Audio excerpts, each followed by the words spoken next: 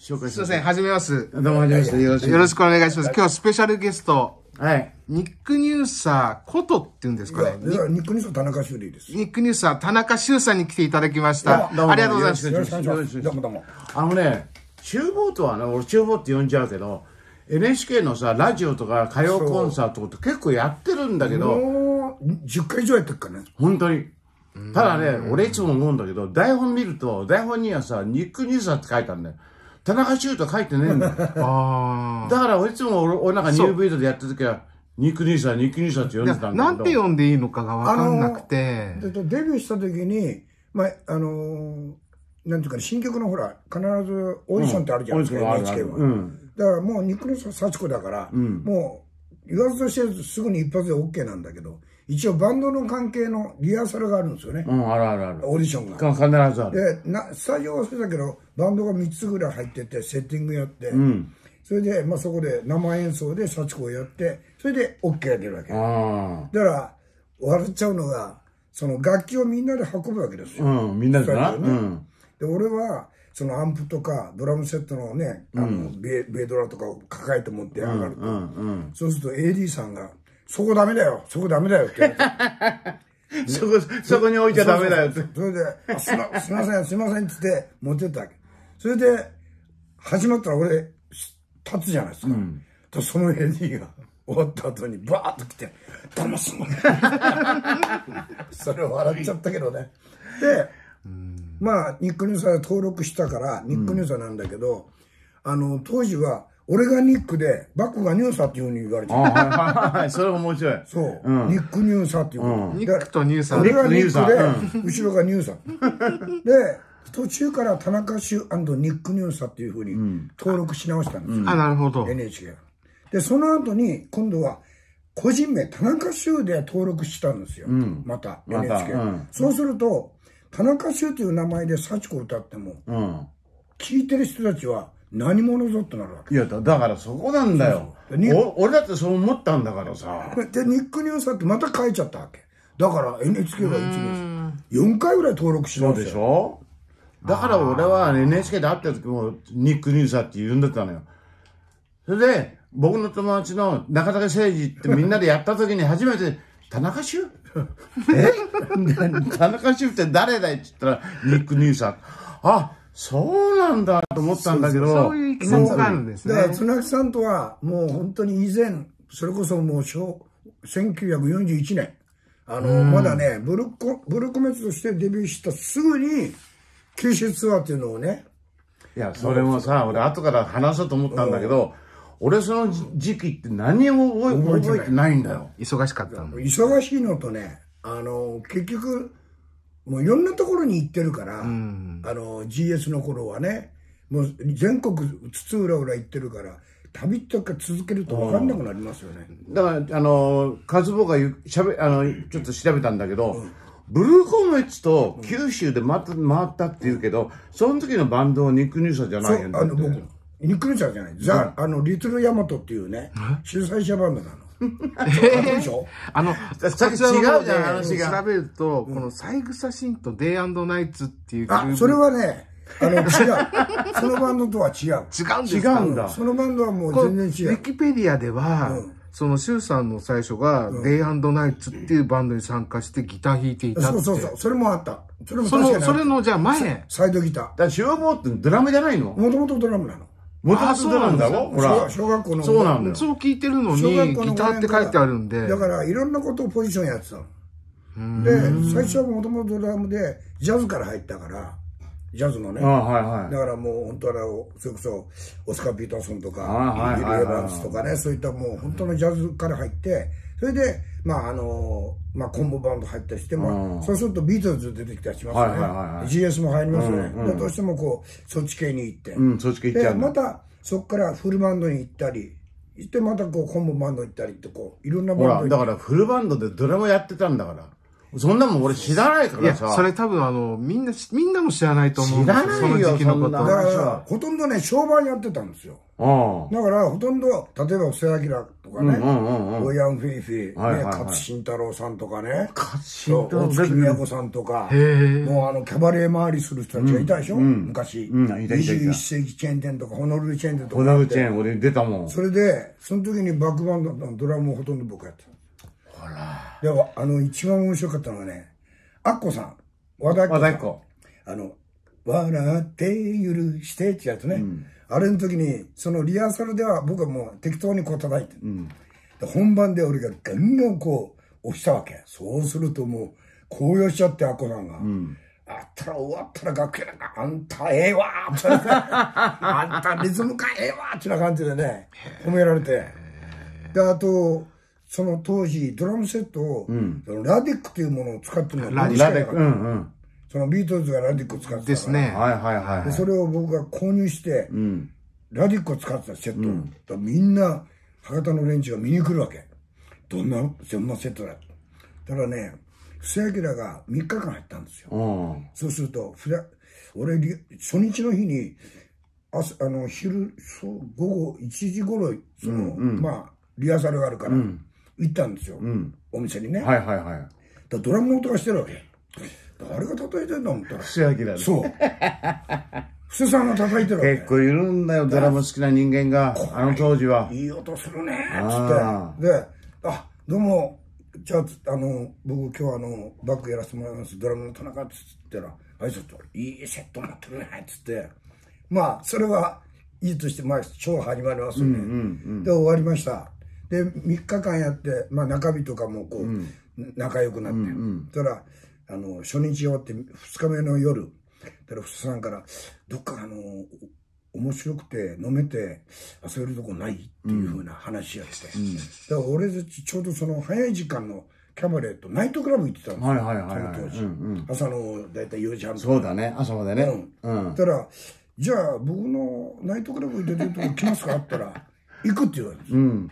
で来てくれたんですよそしたらお客さんびっくりしちゃって、うん。ねまあもう当然売れてる時だからそうそうそうそう。で、だから、その、いなんか、じゃあ歌うか、つって。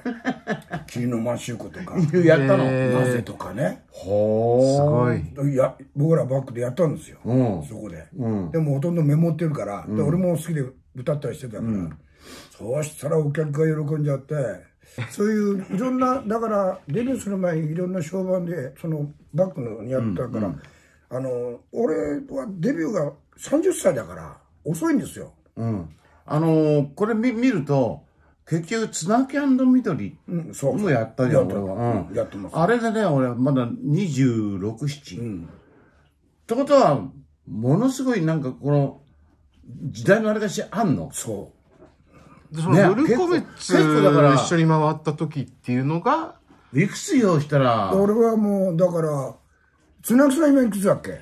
俺まだ17か18なのよ。ブルーコメ今ッツ77ですよ。い今、今今いくつ？今77。77。?7 でしょ、俺72だから。あ、そうか。ちょうどそのだから、時代的には一緒なんですよ。一緒なんだよな。ただやっぱり年齢が違うから、そこ。だけど俺もドラムも小学校の5年からやってるから、早かったんですねだか。らそういう音楽シーンはずーっと一緒にやってきてるって同じなんですよ。いや、だからさ、幸子っていう曲もさ、俺がブルーコメッツでやってる相当後に幸子が出てきいや。僕はもう27、8に作った曲だ。でしょ？ほら。そうなんだよ。27結構あるんだ。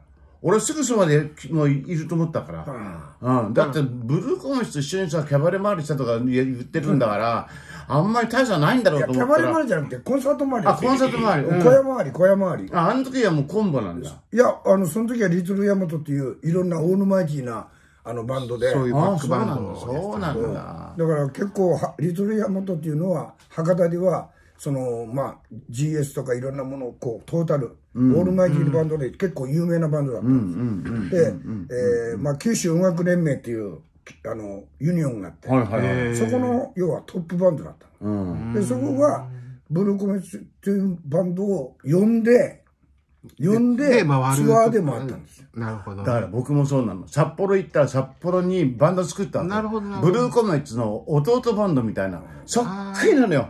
もう何やってもブルーコミサウンドなのよ。で、こハーモニーから全部知らない。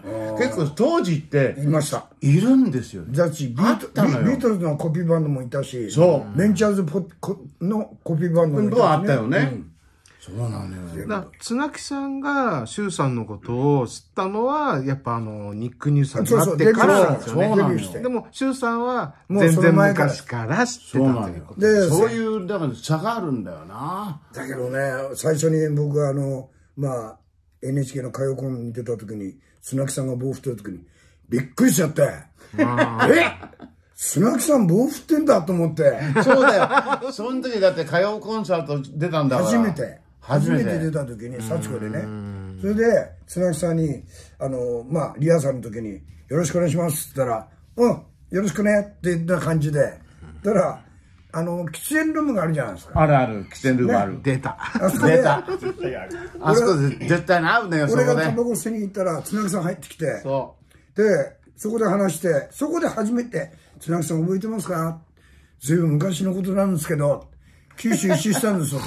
ええな感じで、そっからなんかものすごくね、そうそうそう。親しみ感じて。なるほどなるほど。で、会うたんびにもう、買い込んで会うたんびにタバコのとこで会って、本当に、ただね、途中、に3回目ぐらいの時に、もうその時にもう集合って言ってくれてたの。う。そう、その時でもう多分死亡って言ってそれでそれまではニッさんなんだから。死亡、お前リハーサルしなくていいんじゃないかっていう、というのはね、あの、ニューブリのドラムとベースとギターっていうのは、ニック・リーさんのこう原型のバンド、あの、メンバー。うん。バックバンドもやってたんですね、はい。だから、リハーサルやんいや、やんなくてもいいだろう。タイム、タイムキープあるから、いや、まずいっしょって言ったで、俺言ったの。砂木さん、たまには幸子のイントロ弾いてくださいよ。そうそうそう、そんな話もあったとな。ね。で、あと、ラジオの方の番組も、一緒にもう、あの、やらせてもらってたから、もうその時はさ、音合わせしないから。そうそう。あ、もう行こうよって言ってそんな感じ。本当に。もうちょっとしかない。イントロしかやらないの。なるほどいや、だからね、あのーそういう面ではすごい、なんていうかな、もともと僕もバンドマン上がりだから、お互いにバンドマン上がりじゃないですか。だ暗黙のうちの了解っていうのがあってね。そうなのよ。で、最後の、あのーいあのー生でやるときは僕は、あの、いついつまでも、ま、伸ばすんですよ。あの、ではい CD はいついつまでも、なぜか、か軽くねいついつまで、なーって、もうそれがもう暗黙のうちのこの、うんうんうん。伸ばしが。いや、だから、例えば音、あの、譜面にはさ、リットとか何も書いてなくても、多分ここはもうリットするんだろうとまあリットとかフェルマータとか。フェルマータとかってあるじゃん。はい。そんなもん頭の中に入ってるから、見てるわけ、本人俺は。ただ、おポーズやってるって言うから、わーでー、もーってやるんだよ。しかもうまくするときはドラムがタッと取って入るわけ。あれはね、もうあ本当にびっくりしちゃった。だ綱木さんがその知らないその周さんの時代若い頃ってあるじゃないですか、その頃周さんは綱木さんってどういうふうに見てたんですか？あのねブルーコメッツってどうだったですか？あの、ブルーコメッツとしてはすごい真面目なバンドっていうかな。そういうもね何なんだ。あの、ジャッキーさんは常にもう、ランニングして、やってるやってる。汗かいて、それで楽屋でいつもこう、あの、それ見てどうでした？いや、もう、やっぱり、あ、ここまでちゃんとやるんだって思う、俺も思って、俺もやるようになったけど、あそれまだ僕は全然やんなかったけど、もう結構こう、1連からダブルから3連、こうもう全部やるわけ。僕なんかギター弾いてるけど、今でも、一、必ずやってるよ。一日に二回、一回は。でもギター2時間弾いたらさ、もういいよな。で周さんあのそのグループサンズに行った時はギターやってらっしゃるそうんですす。でよねサイドギターっていうのやってたんですよ。サイドギターですね、それはなんでドラムじゃなかったのあの、いや、その時たまたまドラムがいたから。そういうことです。それかなんか歌えたからとかじゃないんですか？いや、歌とかにもうとにかくサイドギターだけ。あ、そうなんですか。で歌はやってなかった、その時。その時やってなかったんですか？じゃあなんで、ボーカルがいたから。でも歌う。すっげえうまいけどな。いたからっていうのはあの面白いですね。どうして歌になったかっていうのは自分のバンドを持って、まああのディスコとかね、あの要ははいクラ、ダンスホールとかね、うん70年代終わりやってて、だからその自分のバンドを、スタッフというバンドを作って、あの、まあディスコの走りのとこにはい。出演したんですよ。だからね、そのボーカルが一番モテるわけよ。ああ、はいはいはいはいはい。ね。めっちゃモテるわけ。で毎月に、その毎月誕生日があるみたいに、その、まあ、嘘ばっかし言って、だからプレゼントもらうじゃないですか。あだもともと俺リーダーでドラムだから、で後ろじゃない？目立たないわけですよ。だけど、いや、でもさ、例えば石原裕次郎のさ、嵐を呼ぶ男なんて、ああれはもうドラムじゃん。そうそうそう。あの当時ってドラムって結構流行ったんだよ。もう確かにね、だけど、それからだいぶ後だから、ああ、そうかそうかそうでかそうか。で結局肝心金のドラムなのにいらいボーカルもったら頭きて次の月にドラムこうボーカル首にして、俺歌うわっつってドラムを入れて、ボーカルになったんですよ、それはいいんだけどスタンドマイクでこうやって歌うじゃないですか、赤毛のその四角いマイク、はいはい四角いマイクね。ねそれで歌ったらねお客さんが「しゅうちゃん歌い方おかしいよ」って言うわけ、お いやおかしいよって歌ってるじゃんって言ったら手がおかしいってわけそりゃそうですよ。1ヶ月前までドラムやってたから。どうしても、こ言っちゃうから。うやって、こうやって、こうやって歌って、本当にこうなってんの。あ、そうか。で、もうどうしてもって言ったら、こうやって、こうやって、後ろに手回して、後ろでこうやって、歌って。そんな話おかしいな。いやー、本当にね、あれ、慣れっていうのはおかしい、お面白いですよね。だから例えば、綱木さんが、歌だけで歌うと、どうしてもギターのこう、うん、なんかこう、なるでしょ？なっちゃう、なっちゃう。それと一緒です自然となる。だからさっきですね、CD ちょっと一緒に聞いた時に、もう手が止まんなかったんで、で、ずっとテーブル叩くんで、今日カメラどうなっちゃうかなって心配でゴム引いたんですけど。でも、だからリズム感がいいのよ。なるほどね。うん。だからうちはもうとにかくインクニューサーっていうのはもうどうしても今はもうピックアップメンバーでね、あの集めてしてやる時やっぱりドラムとベースっていうのはもうリズムセクション、もうこれだけはもう絶対にいいメンバーをうん揃えてるという、俺がニューブイドのバンドリーダーになった時に社長が、ともかくお前のバンドにで作れって言われて、ともかくその性格の暗い暗い人間は全部クビにした。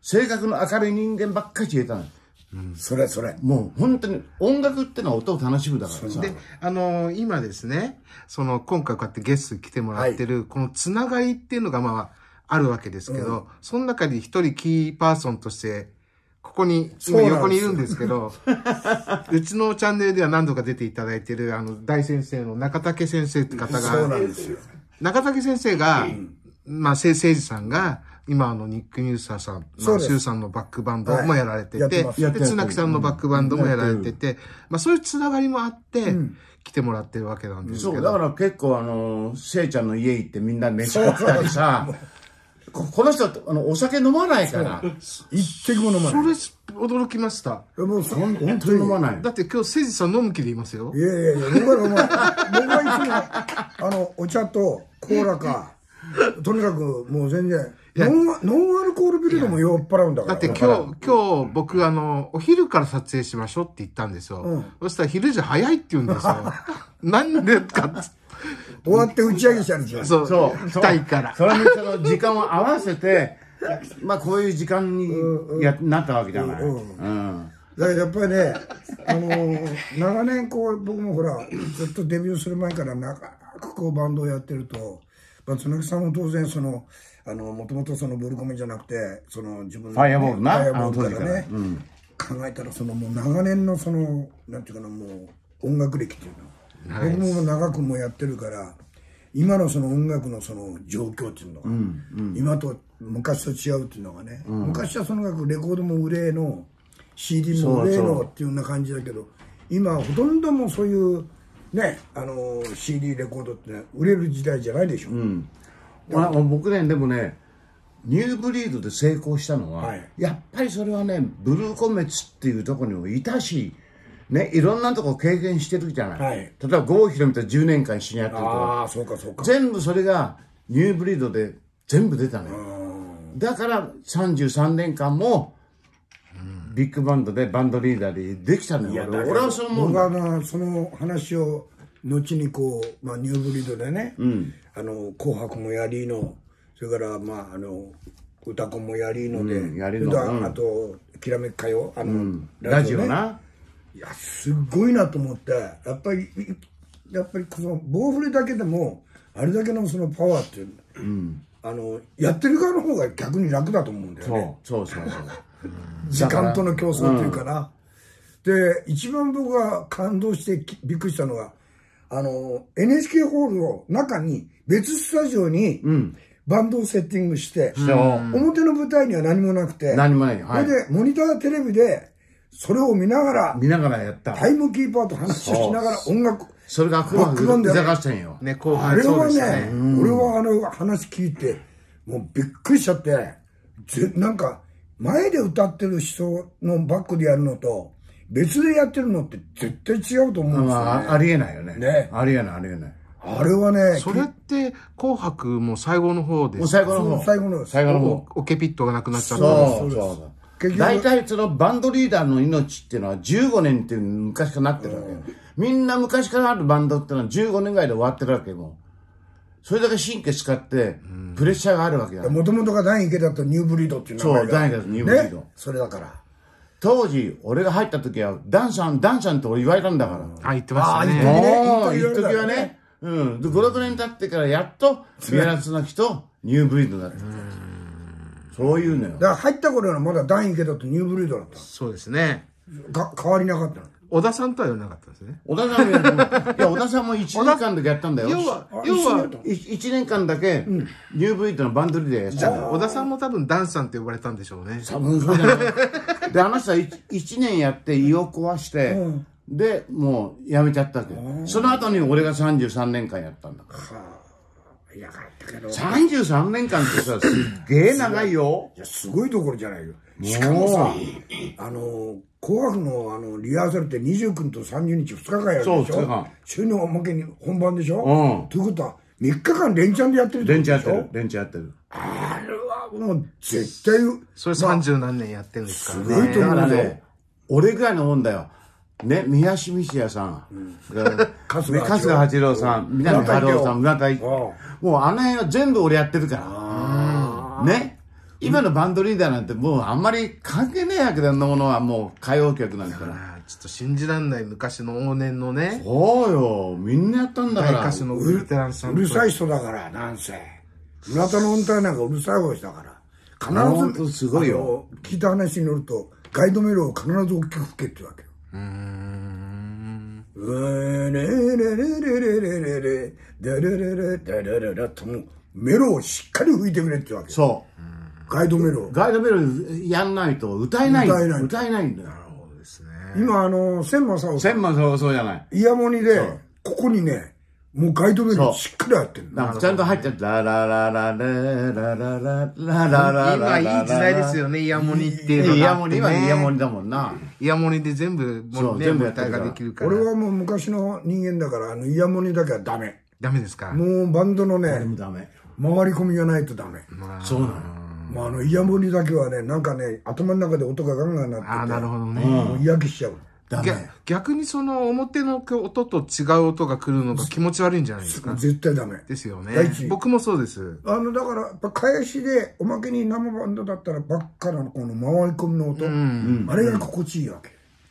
で、これがバンドマンってやつそう、ですバンドね。マンの、その、やっぱり、やり方ですよね根っからのね、そうだね。やり方ですよね。そうそうそう。で、シュウさんっていうのは、はい。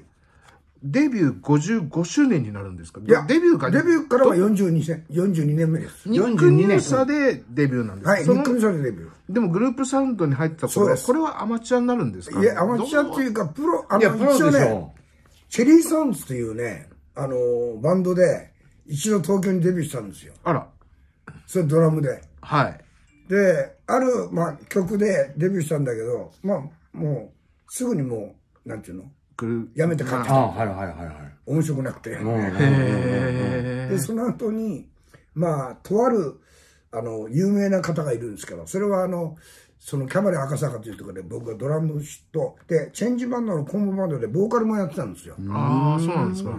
ドラバフルバンドでドラムやって、チェンジバンドで3曲だけ、ボーカルを歌,、で歌ってたの。で、その時に、ショーで入ったある方が、誰かとは言いません。ある方が、歌がすごいうまいねって言われて、これ出てこいよって言われて、名刺渡されたんです。うん。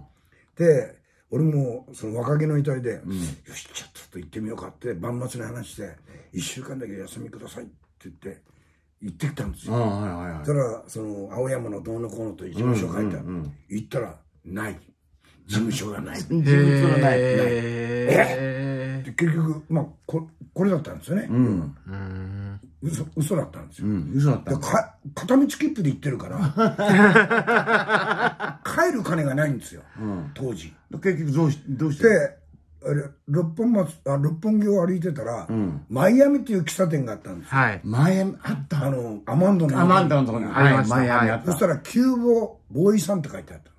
住み込み OK って書はいはいはい。た。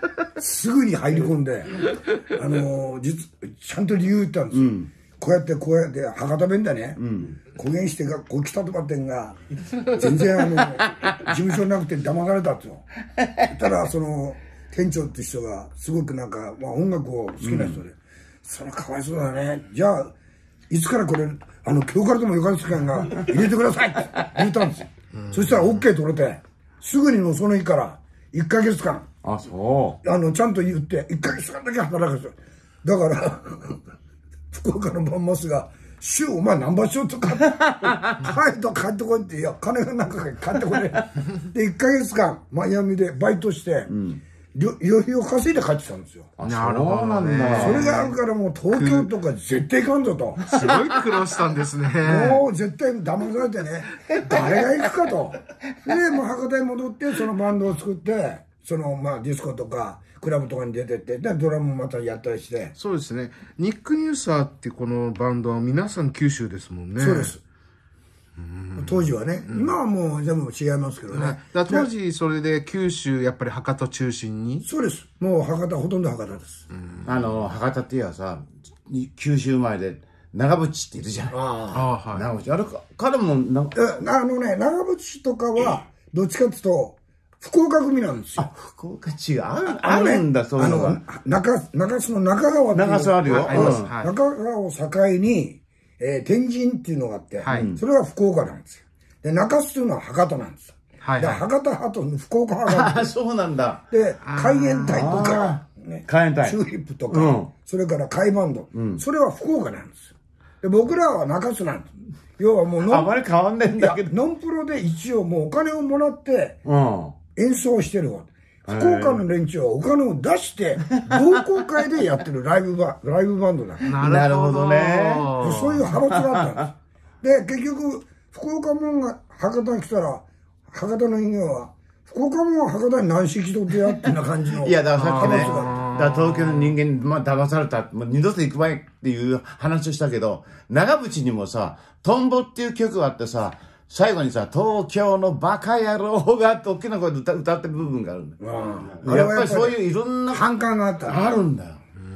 ある意味。その歌詞の中にね。そうなんだよ。で、また九州でもそういう派閥というか、あるんだろうな。ですね。面白い面白い本当にね、あのーだからもうやってたけど、で、僕らがその博多門が福岡行くと、博多門が福岡何世紀堂とかっていうのはその派閥があって、でもう海援隊とかももう昭和だけで、チャゲアスとかも九州チャゲアスもですよそうですね。結構多いですね。多いですよ。多いあの頃九州のバンドが結構あったと思うんですけど、あのえ海バンドもね、九州海バンドもそう。あ、そうなのそうです。そうですね、チューリップもそうですね。チューリップそうそれはみ財津さんもね皆さんの何、福岡なんですか？あれ、彼たちは福岡です。だけど、財津さんとか、はい。井上陽水よりアンドレ・カンドレ、はいはいはいはいはい。陽水とかやっぱり、やっぱり僕らの先輩ですよね。あ、そうなんですか？それはもう言えますね。もうや、財津さんなんか、あの、中洲のクラブとかにも出てましたから、前。あ、。そうなんですか？もうデビューする前に。で、財津さんなんか本当にもうすごい大先輩で、先輩先輩って僕らが言ってたぐらいに、それは許してたの。なるほどね。ただ、後のその海援隊とか、その海バンドとか、それから長渕とかいうのはどっちかって言ったら、まあ、あんまり僕らは認めてなかったという。そうなんだ。当時。うん。だけどまあ、ヒットすればね、官軍だからね。まあまあもちろんそうだけど。で、それでですね、はいあのーちょっと、ここ、ここで告知を入れさせてもらいたいんですけど、えー、ちょうど、来年、はい。年明けて、2そうなんですよ。月、2月。またなんか、もうよろしくお願いしますよ、偶然にね、またこの九州の九話なんですけ州なんどか、ツアーやれるってはい。いう。、九州ツアーで3日間、3日間なんだよ。あの、2月3日、4日、5日と、九州、えー福岡、はい。北九州、はい。鹿児島と、はい。えっ、と、思い出のムード歌謡はい。というこのコンサートで、えー、周さんと綱木さそうなんだん一緒に回るということで。でもなんでブルーコメッツがムード歌謡になっちゃうんだよ。なんでニックネそれがーいや、なんでニックネーさんがムード歌謡になっちゃうの？お互いにムード歌謡じゃないよね。違うよな。いやでも一応あの副題として今蘇る昭和の名曲たちとあるんでそういうそういうことね名曲ということでそんなこと言ったってさ、ブルーシャトーは全然違うじゃん。そうですよ。どうすんだろ雨の赤坂は一応う。いや、雨の傘がいいよ、ムード歌謡の方に入るから。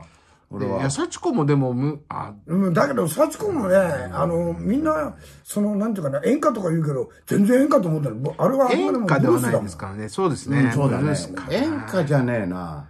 でも、まあ要は、歌謡曲という部分ではね、同じだと思う。だだから流流行歌。そうそうそう。流行り歌、流行歌。そういう意味だね。そうですね。ね、これがあのもう多分チケットが発売になって予約始まってると思いますので、はい。えーこのちょっと動画がいつ出すかまだ決まってないんですけど、はい。あの見た方はせあのホームページの方をチェックしてそうですね。ぜひ、ええこの綱木さんと周さんのはまあ多分ステージでも面白い話が あ、あると思うんだけど、ただ終わって打ち上げで、酒飲まないからさ。い、やいや、大丈夫、大丈夫。